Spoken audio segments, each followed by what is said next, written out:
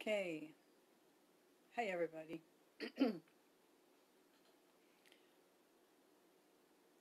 I'm going to wait a few minutes, or I should say a few seconds before I get started. It's been quite a while since I've done a live video, so I'm excited about it. Today, I'm going to be sharing on some revelation that I got the other day as I'm working on my book, uh, Communion, The Supernatural Power of Communion uh, for Health, Prosperity, Life, for all that. So I've been working on the, my book and I've been I've been studying a lot on it. It's just like almost two years I've been working on this book. This is like the hardest and the longest book I've ever worked on, but it has the most revelation. And uh, yesterday I was uh, studying and thinking about this, and I think it's really important. Something, all the stuff going on in the world today, it's really hard to have peace. And this is something that really will give you peace once you grasp onto it. And this is something that's going to be in my new book. I kind of condensed and put a couple chapters, pieces from different chapters together so that I could share with you something simple about how to take captive uh, your thoughts and bring them to the obedience of Christ and bring that to the communion table. Which this information was life changing for me, and I'm still growing in this. That's why I'm writing that book on communion and why it's taking so long. But um, basically, 2 Corinthians 10:5 says, "Cast down arguments and every high thing that exalts itself against the knowledge of God, bringing every thought into captivity to the obedience of Christ." Okay, now we know that's true, and most of us are taught when we have a bad thought to take it captive and say, "Okay, um, like for example, the thought comes, you start, you wake up, you feel really miserable, really uh, terrible, you have a sore throat. So the first thought is, oh, I'm getting the flu because the flu is going around. So the first thought is, I'm getting the flu. Then the devil, what he does is he takes you through his little flip chart. Like this is notes I still have to do with my books, but through a flip chart. Like, oh, okay, look at here. Um, you were at uh, Cracker Barrel the other day, and that waitress was sneezing and snotting all over her. So, you know, you deserve to have the flu. You should have the flu. And, oh, look here. Um, your Aunt Susie, you know, you just visited her the other day. She just died of the flu. Oh, oh, and you heard on TV, take this medicine and it'll do better with the flu. And, oh, look here. Whoops. Here are the symptoms of the flu. So, what the devil does is he uses your unconscious mind and the neural pathways that you have already created of things that have happened in your history, things that you have seen, things that you have experienced, uh, things that you've heard. So that's why testimonies, you have to really watch when you give a testimony because when you start giving details of in a testimony, it starts making that available to everybody else. And then when they have a symptom, they're going to start thinking that. That's why I stopped watching TV 20 years ago. I just rent movies and that's it because I don't want any suggesting to me. And TV is all about suggesting. Big Pharma wants to get your money, so they tell you what symptoms to look for and what medicine to ask your doctor for. So anyway, so the devil, what he does is he goes through this flip chart and he starts giving you all these thoughts, all these ideas, all these confirmations of why you deserve to have the flu. You deserve to have the flu because, well, you haven't been taking care of yourself. Um, you haven't exercised. You haven't been. You're even eating a lot of sugar uh, and you've been around people who have the flu, you went to Walmart, you put your hands in the cart, you came out to Walmart, you stuck your finger up your nose or in your mouth, you deserve to have the flu. Okay, so he's accusing you. Okay, he's taking your experiences, what you hear, see, uh, and experience, and he's taking those experiences and, and those pathways that you've already created. So it's like a trigger, like, oh no, I'm getting the flu. So you begin to think about the flu. You begin to think about the symptoms. You you you normally, if you're already a Christian, you would say, take the thought captive. Okay, uh, by the stripes of Jesus, I have been healed. So you quote that scripture. But I don't think that's what re- really means taking it captive. What that's doing is quoting a scripture. Now, when you take the thought, it means okay, first of all, the devil is giving you symptoms and showing you things and saying, oh, this has got to be the flu because you did this, this, this. You deserve to have the flu. He's giving you a judgment, basically. And by taking it captive, what you have to do is you have to walk it to the cross. And this is so cool because we think just the opposite. Now, walking it to the cross means everything on this earth that leads to death is from the devil. Everything that leads to life is from God. So, so you take your thought and you take it all the way down the road to death. Okay. Oh my goodness, that's right. I did talk to Aunt Susie the other day. and She has the flu. You're right. Oh yes, I got sneezed on in church. You're right. I, I could have the flu from that. Yeah, I stuck my finger up my nose after I was visited Walmart. Yeah, uh, you're right. I've been eating sugar. Yeah, you're right. I haven't been taking care of my body. Yeah, you're right. Okay. Then you take that those thoughts. You follow all of those thoughts all the way to it, it's like a mind map. Your thought is, I got the flu. I got these symptoms. So all the bad thoughts that you are thinking, oh no, I got the flu. I'm this age. It so many statistics say that pers- people who have the flu die. Okay, death. It ends in death. You take all those thoughts till they till they're dead, till you end up in death. Death. Then you say, okay, now all those thoughts have been. I've thought about them. I brought them into my conscious mind because when they're unconscious, you can't deal with them. You bring them to your conscious mind. You walk them all the way to the cross. Now they end in death, and you say, okay, now Jesus justified me. See, the devil is giving you a judgment. He says, You deserve to have the flu because according to the cycles and the seasons on the earth, according to the fallen man and the nature of man, the cycle of death is you get germs, viruses, infections, and you get with somebody who has the flu sneezes on you, you get the flu. That's the cycle. That's the death cycle on the earth. But you are not in the death cycle. So you say, okay, I don't receive that judgment. I bring it to the cross, and Jesus, I died in Christ Jesus. I was buried, not just dead, but I was buried in Christ Jesus, and I resurrected with Christ Jesus. Therefore, flu is in my history, not in my future, because you are a new creation, and sin leads to death and sickness, disease, poverty, lack, and fear is all the result of sin, the judgment of sin from that the devil put on you. But Jesus already took that judgment. So sin, sickness, disease, poverty, lack, and fear, and everything related to death has no legal right on you. It's just like going to the courts of heaven. And in a way, you're going to the courts of heaven. If you understand about the courts of heaven, you confess and you admit your guilt. Yes, I'm guilty of that. Yes, I'm guilty of that. Yes, I'm guilty. I repented. I apply the blood of Jesus to it. And taking captive your thought is just like going to the courts of heaven and you are admitting every of the, all these bad mind map, all these thoughts going in all the direction of why you should be sick or why you should be poor or why you should be divorced or why you should be whatever all those thoughts that you take to the very end of those thoughts when there is nowhere else to go because they end in death. You bring those thoughts, you say, Yep, you're right, you're right. But my justification is Jesus. His blood bought that health for me. His blood justified me. So you legally have no right to put sickness or disease on me. Okay? So you take it to the cross, you walk it to the cross, and it, it always ends in death. And then after the death, you go to the justification and the righteousness of God that you are. It doesn't matter that you did something stupid last night. It doesn't matter that you got the flu uh, because um, you slept with somebody last night, or you got the flu because you swore last night, or you got the flu because you smoked or got high last night. You are justified. The devil has absolutely no right to put that on you because you are the righteousness of God in Christ Jesus.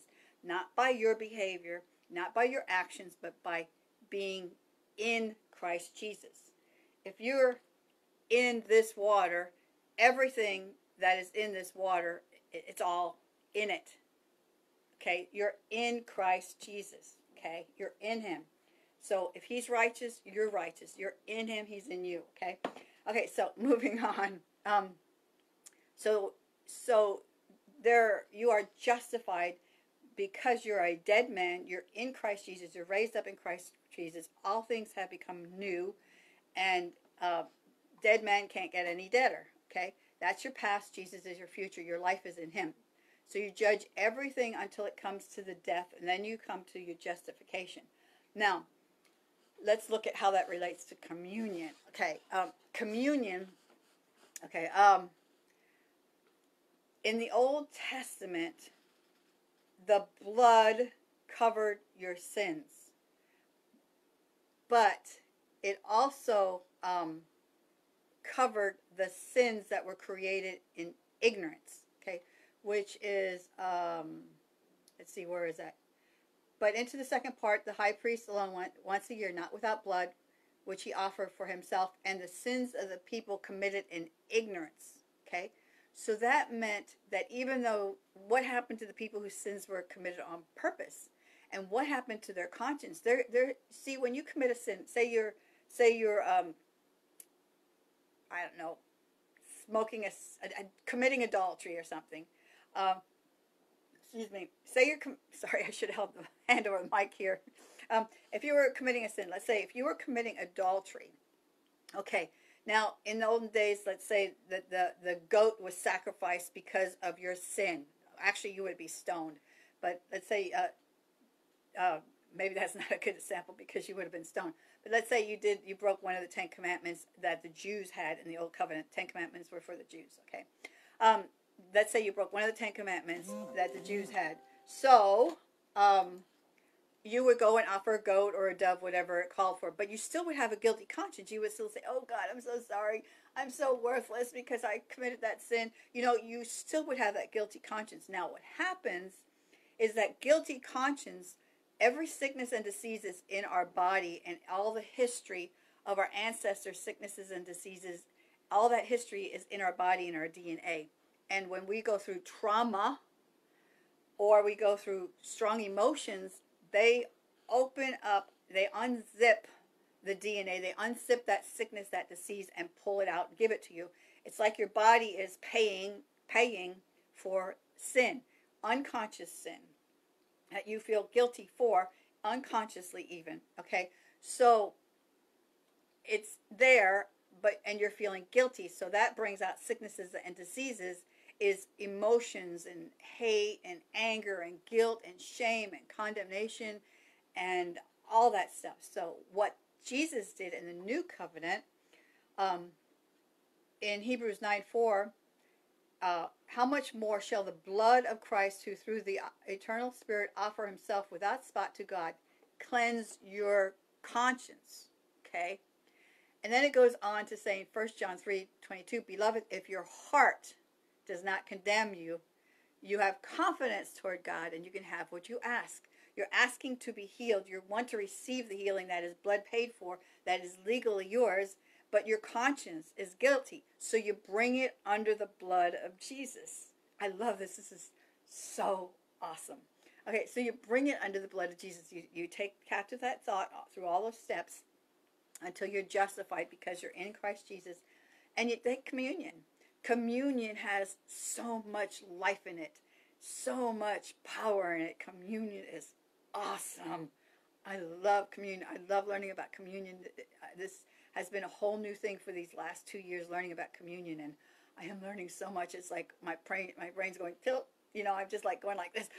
I feel like I'm a hyperactive kid because I have so much revelation on communion, and, and it's like I got to get into the words and into this book and and out there so people's lives can be changed. Because Jesus, uh, God sent Jesus because Jesus was the answer to all things. And when you take communion, the body and the blood of Jesus, you are proclaiming legally that you are in covered in the blood. You are you are in Christ and He's dead, risen, and your punishment, your guilt, no longer guilty, has been taken care of. You are the righteousness of God, and communion does that for you. And I probably got off on a sidetrack. Okay, um, so all sicknesses first comes from your spirit, and then it manifests in your body. Okay, um, do research, do studying about all pharma's doing and what uh, about. Uh, I, am going to put in my book. I, I, just can't talk about all that now. um, anyway, um, it, it manifests in your body because we carry in our DNA all the trauma, all the sicknesses and the diseases fr- from our past ancestors. Um, that's why we have to go to the court. The, going to the court of heaven is one way to deal with it. There's different levels of revelation, different, uh, not even like this, it's like this. and some like this, you know, going to the courts of heaven, knowing who you are in Christ. And you are the righteousness of God in Christ Jesus. So, um, you want to you want to get rid of that unconscious neural pathways of your history and triggers of things that have happened to you in the past. You want to get rid of trauma because trauma opens the door to sickness and disease. If you have any kind of major sickness in your life, that when you got it diagnosed, look back six months to a year, what traumatic thing happened in your life? That's what triggered and opened that up for you and brought that on you. Now, um, when we come into judgment, saying judgment meaning, oh, um, you're you got the flu because you didn't eat right, you didn't exercise, you didn't drink enough water, you uh, drank out of the same cla- glass with somebody who had the flu. So you are being judged by the devil. So when you come into judgment like that, it means a trial, a contest, a sentence of condemnation, a damnatory judgment, condemnation, punishment, and accusation. That's why grace is so important to understand grace because all these things are what the world does to us and actually what Christians do to each other. And we shouldn't be because the devil's always judging us and making us guilty, shame, and condemnation. Guilt, shame, and condemnation bring us into all of this, cause sickness, disease, death, and poverty, lack, fear, all this stuff going on in the world. It causes this. So learn about grace. I have three books out there, I think, on grace. Learn about grace. I give away books free all the time. Anyway, um, okay, we have passed from death to life. Now, most people accept the cycles and the seasons that happen on the earth, which are the death cycle and the fallen nature, waiting for the sons of God to mature and to manifest and to judge and say, hey, you know, you're under me now. You don't, you're not weeds. You're not, you're not uh, killing bugs and insects. Um, you are healthy. You're a blessing to me. Okay. Earth is waiting for that because the earth is under death cycles and we have accepted it as normal. We accepted that aging is normal, that we should lose our eyesight, we should get sicknesses and diseases and weak bones. We just accepted that um, when certain things happen, certain th- you know, we have accepted this stuff, okay? But we have passed from the death cycle into the life cycle. We have passed from, um, oh, there's so different ways I could go with this. Oh, I get so excited. Um, I can't go there either. Um, okay, so instead, you want to receive the absolute. This is this is what we received. Okay, I told you what the death cycle was. This is the life cycle. Um, absolute fullness of life, life active and vigorous. That is abundant life. If you don't have that, you are in the death cycle. I said to God, I said, God, show me whenever my thoughts or my speech or my actions are in the death cycle and produce death. Uh, and then get help me to get onto life because what we do is we sit in front of a TV and we let the TV brainwash us. And in really reality, the TV is brainwashing us. And things like Facebook and Instagram are created. They mess up the neural pathways in your mind and cause you to go from one thing to the other. They teach you not to hold your focus and attention on anything. They also emit uh, blue light, I think it is. I don't know what kind of light that that uh, affects your melatonin, so you can't sleep, and your cortisone and different stuff like that. So it puts you on high stress level.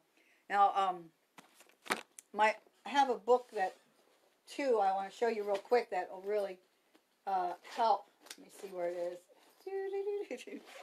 I'll be right with you. Okay, this book that I've written, I'm going to go over this in a couple of weeks. I'm going to go over this, the toxics, uh, toxicity of how the government and pharmaceutical and what they're doing to us. But this talks a little bit about G5, uh, microwave, all kinds of stuff, uh, the elite, the celebrities and stuff. Um, it, it has just a touch of that stuff in, but mostly what the water and the food and everything is doing to us. So we have to get educated. Now you have to be careful because Google automatically um, and Snopes too automatically will uh, are programmed to pull up stuff that they want to promote. The left side, the left, you know, far left, instead of truth. So you have to keep digging and digging and digging deep to uh, learn about 5G and how it's killing us, how it'll affect your brain waves like microwave and holding the phone up to your ear.